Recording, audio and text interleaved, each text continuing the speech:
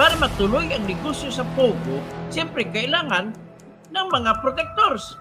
Of course, hindi malayo na nandoon ang kamay ni Mr. Lito Lapid. Tama. Paano man yung gagawin mo? Humingi ka na sorry sa akin. Kakasuhan po kita.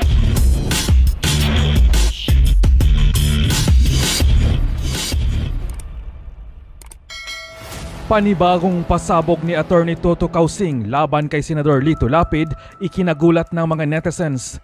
Sa huling vlog ni Kausing ay isiniwalat nitong inagaw umano ni Lapid ang mga ekta-ektaryang lupain ng mga magsasaka sa Pampanga upang matayuan ng mga pogo hubs. Ayon pa kay Kausing ay walang nagawa ang mga kawawang magsasaka at umiyak na lamang sila dahil na-convert na ang kanilang lupa mula sa agricultural papuntang commercial kaya naman, naglipana na ang mga iligal na pogo at malalaking establishmento sa kanilang lugar. Sentro nga ngayon ng kontrobersya ang senador matapos ibulgar ni Kausing ang kaliwat kanang issue nito katulad na lamang ng pagiging protektor sa mga iligal na pogo sa Porac, Pampanga.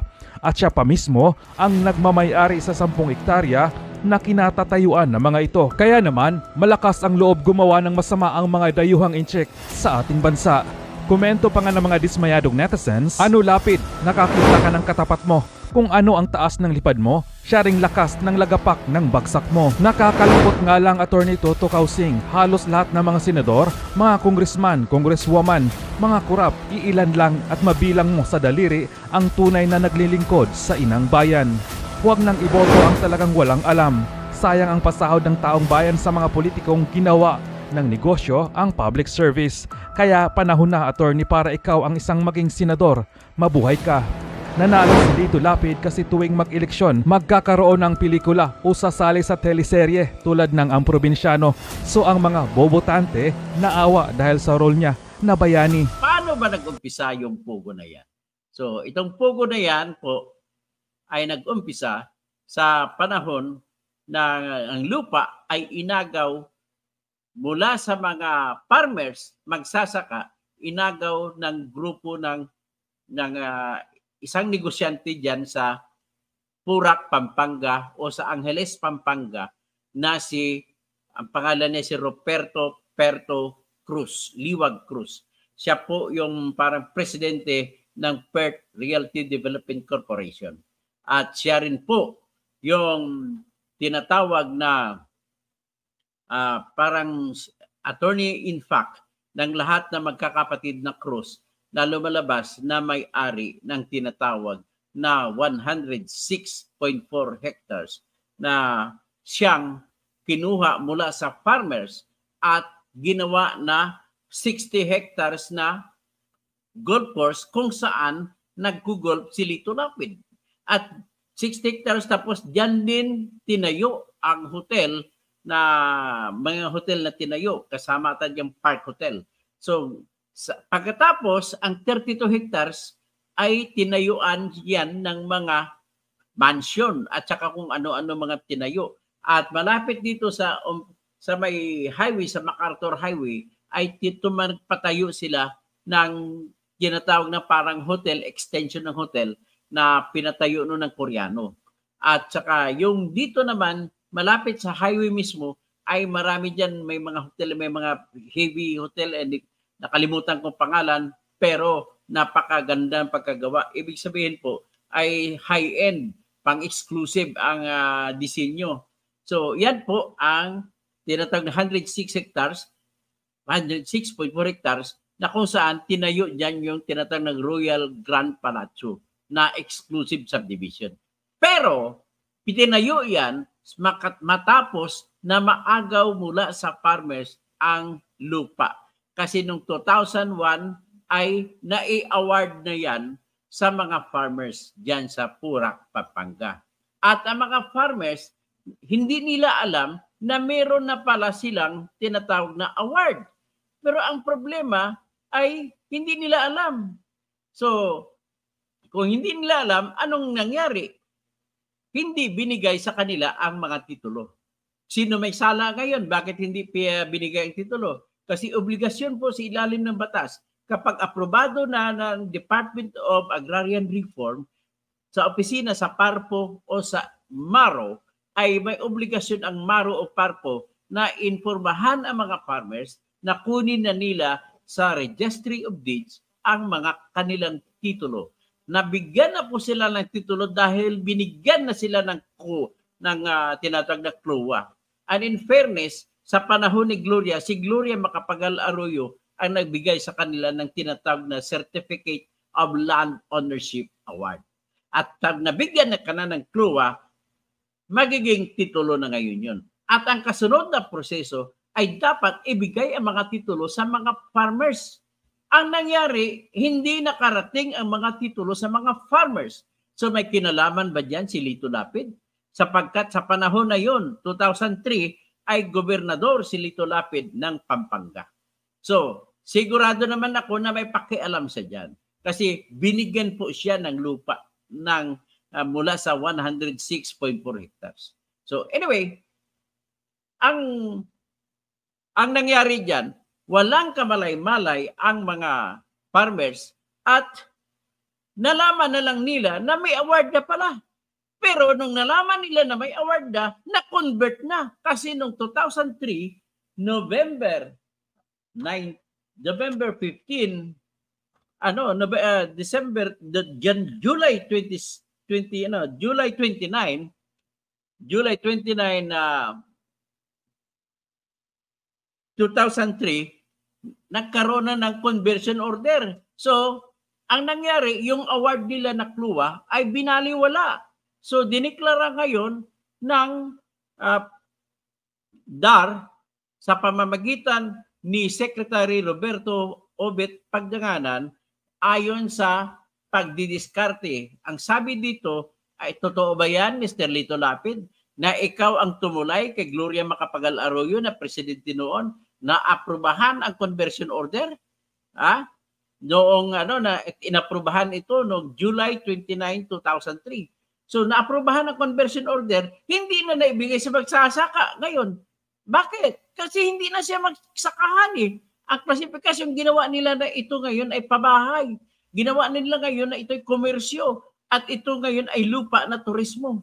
So, yan po ang ginawa ninyo, Lito Lapid. Di ba kasangkot ka dyan, Mr. Lito Lapid? Oh, ngayon nung nangyari yan, umiyak yung mga farmers. Hinayaan nila kasi wala silang kapangyarihan. Hindi sapat yung kanilang tapang at ang kanilang karuwagan laban sa mga opisyal ng Department of Agrarian Reform at opisyal na kagaya kay ano tinatayuan nila ni Lito Lapid na gobernador at naging senador pa at nung naging senador kinuha pa niya ang kwan naging interesado sa sa Committee on Games and Amusement. So bin, binarangan nila, binakuran nila at sa ang mga takot na farmers ay nagparaya. So dumating ang 2018 at naisipan ng mga farmers kasi lumampas na limang taon, sa autos kasi ng conversion, binibigyan ng limang taon ang uh, kumpanya na Victoria Tourism Park Corporation ng mga na korporasyon ng mga magkakapatid na cruise na pinangungunahan niya ni Roberto Pert Cruz. At ang ginamit nila na uh, ang korporasyon na yan para bilang may-ari ng mga subdivision na tinatawag na Royal Grand Palazzo. At sa tabi ng Royal Grand Palazzo, may 60 hectares na golf course kung saan lagi naglalaro si Lito Lapid. At meron diyang hotel na tinayo. At sa kabila, going to the north, ay nagpatayo ng Pogo. No? Nasa boundary na ng Angeles City. So doon na tinayo ang Pogo sa boundary ng Angeles City at saka Purak. So, nanay tayo ngayon yan, 10 hectares yan. So, tinayo yan simula ng 2019. So, ngayon yung mga farmers no nang tuwing na nagrereklamo na ibalik sa kanila, na kansilahin ang conversion order, ay nanalo sila. Ang decision ay nilabas noong November 15, 2019. So, ito po yung desisyon. No? Hindi po ako dito nagkwento-kwento ng Mr. Lito Lapid. Ha? Ito yung desisyon na pabor sa mga farmers. Ha? Ito yung desisyon. So, ngayon, kung ito yung desisyon, pakita ko sa inyo, kapal-kapal nito. Ang nakalagay na petsa dito ay November 15, 2019. So, permado yan na um, Susana Serrano, Land Use uh, Cases Committee, Attorney Marvin Bernal, Land Use Cases Committee member. Tapos, si Attorney Jim Colito, Land Use Committee Chairman. Okay, yan po ang desisyon. Ang sinabi sa desisyon, ang natira na mga 40 hectares ay ibigay sa mga farmers. No. Ngayon, 2019, eh nagsimula na ngayong ano, noong October pa lang nagsimula na ng construction ng Pogo. So para hindi, para matuloy ang negosyo sa Pogo, siyempre kailangan ng mga protectors. Of course, hindi malayo na nandoon ang kamay ni Mr. Lito Lapid. Tama, kasi ikaw chairman ng Games and Amusement Committee. Tapos nandun din ang kamay na bakal ni Jing, ni Jing Kapil o Kapal. At andun na siyempre, hindi papayag si Bung Pineda na magkakaroon ng palaro dyan na sugal kung hindi dadaan sa kanya. So, imposible po mangyari na ang sinasabi ni Lito Lapid at saka ni Baby Pineda na hindi nila alam ang pugo dyan sa Purak ay kasinungalingan. Malaking kasinungalingan. Yan po ang katotohanan dyan. So ngayon, dahil sa nanalo ang farmers, ang ginawa nila, ah, inantay pa nila, kunwari, tinago nilang desisyon. Ito naman ang kawawa mga farmers, hindi nila alam kasi wala rin silang abogado. Hindi nila alam kung anong gagawin at November 9, 2015, 2019 pa sila nagkaroon ng desisyon. Pero, kinago-tago yung desisyon na yan at nagkunwari itong si Roberto Cruz, Liwag Cruz, at ang kanyang kumpanya na Victoria Tourism Park ay pitinago lamang nila ang desisyon at patuloy sila ng patayo ng patayo ng pugo. 10 hectares doon nila pinatayo doon sa bakante na natira na kasama sa iginagawad ng DARCO o Department of Agrarian Reform Committee ang lupa na para sa farmers. So ngayon, saan na papunta ngayon ang farmers? Kasi ang 10 hectares ninakaw ninyo, inagaw ninyo sa agraryo. Ah, Mr. Lito Lapid, kasama ka ba dyan sa pag-agaw? Siyempre, titingin ng taga-purak, ikaw ay may kagawan yan. Kasi unang-una, senador ka. Pangalawa, si ikaw pa ang chairman ng committee sa mga sa opisina na nagbibigay ng lisensya sa Pogo. So, natural, kung talagang ikaw makonsensya sa mga kabalin mo at kung ikaw ay talagang magaling na lapid o magaling na kabalin, dapat inuna mo ang kapakanan ng mga kabalin mo sa purak. Pero ang problema, hindi ka magaling. Ang alam ko lang na magaling na lapid ay si Percy Lapid at isa pa, Lapid Chicharon. So, yan lamang. Yan ang problema talaga Lito Lapid. So, ngayon, sabi ng misis ko, chillax lang ako. Eh, alam mo, pag-usapin ng katarungan at katotohanan at pag-alipusta sa mga magsasaka ay parang ipagdasal natin ngayong linggo. Mga kapatid ko, mga Muslims, mga Islam, uh, asalamu alaikum warahmatullahi talahu wabarakatuh. Ipagdasal nyo rin ang mga farmers diyan sa Purak, Pampanga na manaig sila. Pero ang problema ko, paano gigibain ba yung mga building sa 10 hectares para masakahan lamang ng mga magsasaka? O hindi ko maisip kung paano. Ang karapatan na sa magsasaka, papayag ba sila na yung uh, 10 hectares na yan ay na sa kanila dahil may mga building. Ang isa pang na-discover ko rito, ikaw rin siguro may pakana dito, may kinalaman ka ba dito, Senator uh, Lito Lapid? Ang mga pinirwisyo mo na ng husto ang mga kabalin mo diyan sa Purak, Pampanga. Bakit? Ang mga farmers, kinonvert na nga yung lupa mula sa sakahan papunta sa residential o pabahay, sa komersyo at sa ekoturismo ay hindi man lamang nila nakuha ang karapatan nila sa ilalim ng batas na nagbibigay sa kanila, nagkagarantiya sa kanila ng tinatawag na disturbance fee, disturbance compensation. Kasi hindi ka nakakuan, dapat babayaran sila. Ang problema ni piso walang bayad. Yan ang problema. Saan ba kumuha si Roberto ng pera? Ngayon, isisiwalat ko lang siguro no next sa pag-ano ko, ang na-discover ko sa aking research dyan ay ang mga klowa na titulo ay pinalabas na binenta na ng mga farmers sa kumpanya, sa mga Roberto, sa mga Cruz siblings na magkakapatid na Cruz. Pinalabas nila na walang alam ang mga farmers na meron na pala silang titulo, paano sila makapagbenta? In the first place, hindi nila natanggap ang kopya ng titulo. So paano sila makapagbenta ng lupa na wala silang alam kung may titulo na sila sa lupa o hindi? At ito po, meron na pong investigation ang National Bureau of Investigation dito at lahat po ng perma na nagpapakita na binenta sa mga Cruz siblings ang mga lupa na sinasabi ko na dapat sana sa mga magsasaka ay panay lahat sila ay fake. Oh, may kinalaman ka ba dyan, Mr. Lito Lapid? Kung wala kang kinalaman, at bakit mo hinahayaan yan? Kaya pala na, na-discover ko, kahit nung tumakbo ka, Senador, tumakbo si Mark Lapid, natatalo na. Hindi na nanalo, nagalit na sa kanyang mga kanyang kabalin. Kahit si Lito Lapid, sa, nananalo lamang sa mga probinsya na hindi, walang kapampangan. Pero sa mga sa Pampanga, sa Tarlac na mga kapampangan ay halos majority sa kanila ay hindi bumuboto kay Lito Lapid. Nagtataka naman yung mga ibang mga mga hindi kapampangan, bakit binuto niyo si Leon Guerrero? Eh, hulog na sa kabayo yan. Ay, so kay tinatakel ko lang ito kasi hindi ko maatim ang mga ilang taon na pagdurusa na mga magsasaka, inagaw sa kanila ang mga lupa nila inaward na sa kanila ng pamalan tapos kukunin lamang.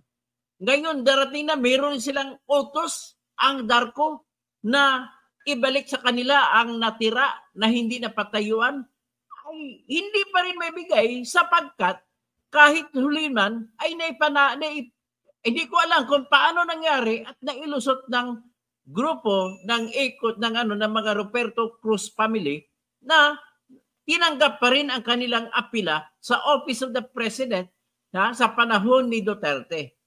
Bakit tinanggap? Ang tanong ko bakit? Kasi paso na po. Meron ng pong 15 days para maisampa ang apila mula sa pagkatanggap ng desisyon ng Darko na kinakansila na ang conversion. Pero bakit March 2022 na kayo nakasampa? Iyang desisyon noong November 15, 2019 pa. So may korupsyon na naman na nangyayari dito kung bakit pinayagan sila na makaapila kasi ang taktika pag nakaapila ang grupo ni Roberto Liwag Cruz ay pwede pang magpatayo ang pogo kasi hindi pa pwede pang sabihin, hindi pa pwede maipapatupad ang desisyon kasi inaapila pa. Ganun lang ho, siyempre. Pero bakit sadya ba ni Duterte na hindi desisyonan kagad ang apila? O, ngayon, hawak na ni Bongbong Marcos. Bakit, Mr. BBM? Bakit hindi mo desisyonan yan? Hanggang ngayon sa opisina mo, sa ODISLA, Office of the Executive De- Deputy Executive Secretary for Legal Affairs. Bakit hindi niyo pa dinidesisyonan yan? Ang apila. Ano ngayon? Sana yung mamamatay na yung magsasaka hindi, hindi makakatikim. Mas binibigyan nyo ng pabor yung mga project-project na yan. At dahil may pogo, mas lalo kayong nanggagalaiti. So iyan po ang pang-agaw ng lupa sa, ng mga farmers. Ha? Iyan, Mr. Lito Lapid. Ang alam ko, may binigyan ka ng lupa dyan. At may hawak din ako na tax declaration patungkol dyan. Oh, ito ang tax declaration. Nakabasahin ko pangalan. Ah, Lapid Manuel M. and Lapid Marisa T. Spouses. Purak, Pampanga. Location. Ano yan, Mr. Lapid? Ha? So, so much so for that. Hanggang dito lang muna tayo at ipagdasal niyo po ako at marami pa tayong isisiwalat at let us go to the church. All of us. Let us pray. Magandang hapon po sa lahat at uh, maaring wala na po akong time na bumati sa inyo. Uh, sige lang, basahin ko lang kung sino una ko mabasa. Uh, si Alex Ulin, si sino pa? Si Araceli Miyamoto, si Gianna Calunya, Danilo Itorma, Alberto Realista, Jenna Colonia, Epin de la Rosa, ah, nabasa ko naman natin kanina, si Alolalia, Pugo Sipe, Inday Tambalusa, eh, nabasa ko na kanina.